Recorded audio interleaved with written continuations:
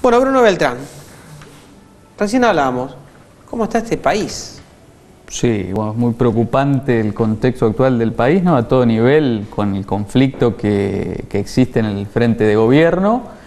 Y eso derrama en una, digamos, mala gestión que ya venía siendo mala, en profundizar las, las malas políticas y la mala gestión, porque, bueno, eh, todas las, las áreas de gobierno se empiezan a trabar eh, y las cosas que tendrían que estar sucediendo empiezan a no suceder y además, bueno, un diagnóstico equivocado también de cómo se resuelven los problemas y ya una total falta también de, de seriedad para, para encauzar las cuestiones institucionales como lo que pasó con, con este, este quiebre del bloque en senadores Sí, del, del Frente de por Todos. Consejo de la sí, Magistratura. sí, realmente es una vergüenza total. ¿Ustedes hablan en el Consejo de la situación actual, digamos, entre todos los concejales, más allá de eh, lo que es el trabajo diario de la ciudad de San Justo?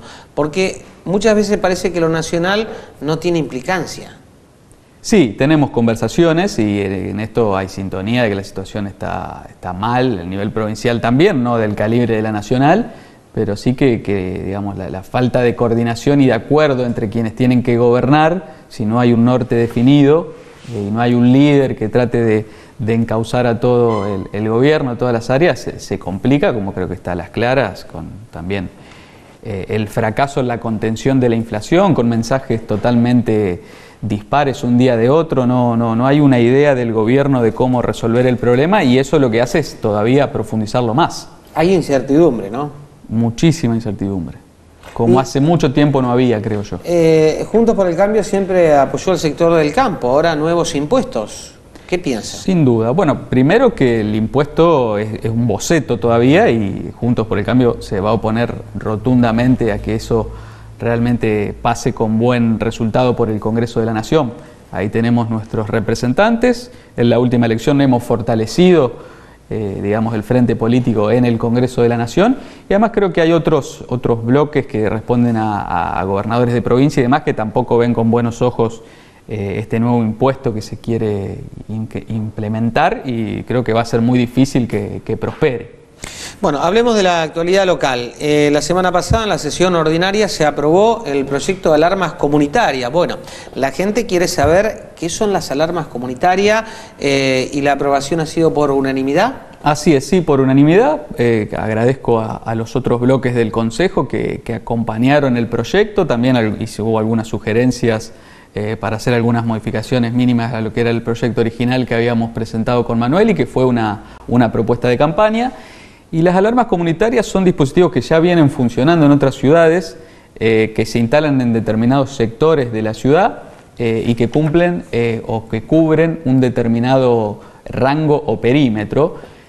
Cada alarma comunitaria uno diría que puede o deber- deben instalarse en una ochava, en el cruce de, de dos calles y bueno, pueden cubrir de buena manera esa ochava para los cuatro puntos cardi- cardinales, digamos, serían cuatro calles con las dos veredas. Aproximadamente cada alarma comunitaria, si uno dice que tiene 10, 10 casas por, por vereda de, de- calle, podrían eh, ser beneficiarios aproximadamente una- unas 80 familias de buena manera, incluso se puede hasta implementar un poco más, pero para que funcione bien el sistema, eh, creo que con, con eso estaría bien.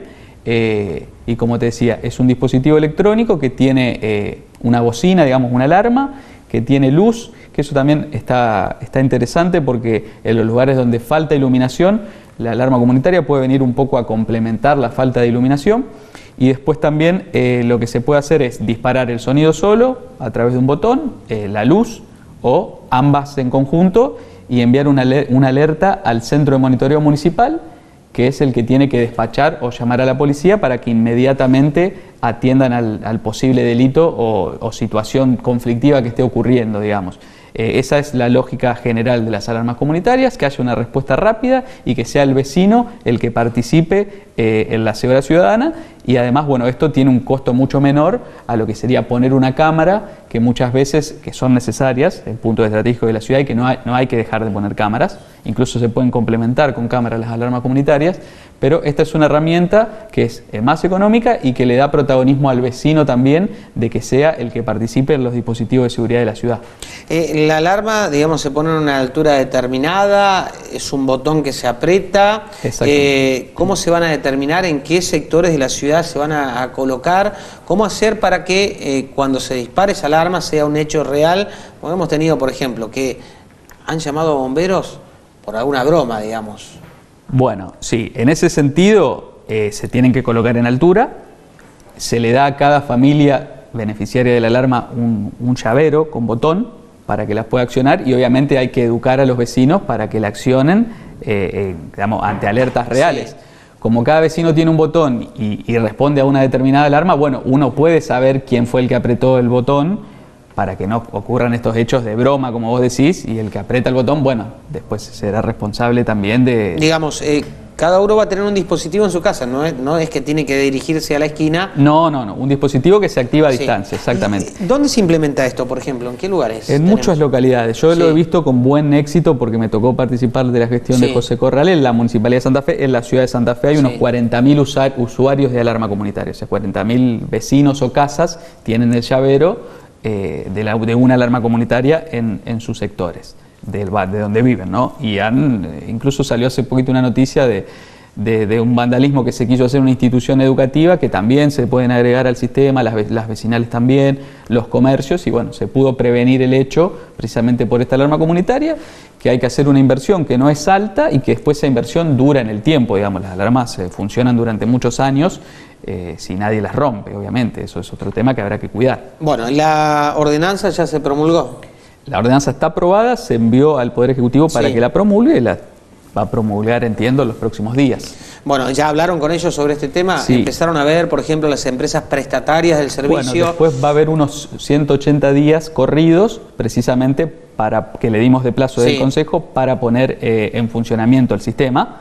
Bueno, en esos 180 días se van a tener que analizar todas estas cuestiones, bueno, eh, conversar con diferentes proveedores, encontrar los mejores precios eh, y tratar también de, tener algún aliado, ¿por qué no?, eh, del sector privado que nos pueda, qué sé yo, donar el software, que es posible, o, darnos la licencia de uso por una determinada cantidad de años sin costo. Bueno, eso será cuestión de conversarlo también y que, bueno, los proveedores nos hagan una oferta y al, al mejor postor adjudicárselo. Hoy en el centro de monitoreo están las 24 horas. Exactamente, sí, sí, por eso la idea es aprovechar el sistema que ya está en funcionamiento y con esta inversión que, es menor a comparación de lo que sale colocar más cámaras, eh, poder aprovechar toda esa infraestructura que en su momento eh, se, puso en la municipalidad a través de diferentes aportes ¿no? y también de, inversión local. Eh, ¿Había sido una propuesta de campaña suya esta? Había sido una propuesta de campaña, sí, así que queremos... ¿Ya la puede tachar? Bueno, cuando eh, sí, se podría decir que sí porque el proyecto está aprobado, pero queremos que se implemente también, así que vamos a colaborar en todo lo que fue al Consejo, lo, mencionó como propuesta de campaña, se puede tachar, se puede tachar, lo desarrolló y encontró en todos los concejales eh, el acompañamiento. Sí, creo que tenemos que poner en funcionamiento una alarma lo más rápido posible eh, para que los vecinos la, puedan ir a ver, también los que estén interesados, y puedan acercarse después a la municipalidad, solicitar que en su barrio se las instale. Eh, Bruno, otro tema que estuvo haciendo posteo en redes sociales, que lo estuvo charlando en la radio, recolección de residuos. Bueno, sí, ahí tenemos un problema que se, ha ido, digamos, acumulando en el tiempo, que es que no se está realizando la recolección de residuos los días domingo como establece la ordenanza. El año pasado, Manuel García Porta eh, presentó una minuta solicitando que eh, se cumpla el cronograma, Raúl Florentín lo mismo, y hemos tenido varias conversaciones con los funcionarios para que esto retome su normalidad.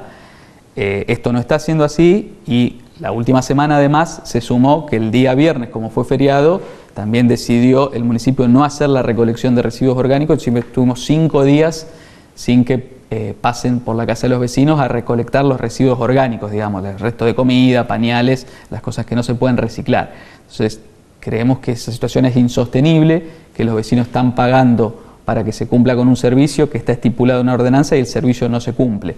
Y además de eso, el vecino con este intendente viene pagando un adicional a la tasa, entre varios que se pagan. Uno es para el sostenimiento eh, del sistema de recolección de residuos sólidos urbanos. Entonces, el vecino ya viene pagando más de lo que pagaba antes y tiene un peor servicio. Entonces, creemos que esa situación se tiene que cesar y retomarse el cumplimiento de la ordenanza vigente. Eh, Hoy tuvieron reunión de comisión, esta noche tienen sesión. El martes tuvimos la reunión eh, tradicional de Sí. comisión, hoy hicimos una comisión eh, Extraordinaria. sí, especial, que es Especial. para tratar el tema de hogares 2030, eh, que ahí tenemos que desde el Consejo buscarle soluciones a algunas cuestiones que están dando vueltas y hoy por la noche vamos a tener la sesión, hoy a las 20 horas. ¿Qué temas? Bueno, eh, nosotros hemos presentado ya también el día de hoy el proyecto para implementar el sistema de botones para víctimas de violencia de género, así que hoy se le va a dar ingreso para que se lo empecemos a discutir eh, la semana que viene en comisión. Y bueno, hay que ver los otros bloques que, que han presentado, que hoy lo vamos a ver en la sesión, y bueno, algunos temas que son para charlar más en profundidad o debatirlos se pasan a la comisión, y bueno, si hay algo que se pueda aprobar sobre tabla, se aprobará. Muchas gracias por venir. Gracias a ustedes y buen día para toda la audiencia. Bueno, Bruno Beltrán, el concejal de Juntos por el Cambio, en esta entrega de noticias, ya nos quedarán muchos temas para seguir charlando eh, sobre este año. Políticamente, pensando en el 2023. ¿Hay Mucha incertidumbre, Joaquín. Sí, mucha incertidumbre, sobre todo en materia provincial, de cómo van a estar constituidos los frentes políticos, cómo, quiénes van a terminar siendo los candidatos, sobre todo a gobernador. Creo que, que hay muchos aspirantes, pero no está definido tampoco todavía el frente político. ¿no? A mí me gustaría que sea Juntos por el Cambio, que nos mantengamos provincialmente también con el frente constituido de esa manera, pero bueno, después habrá que ver la realidad que es lo que marca. Y su grupo trabajando solo.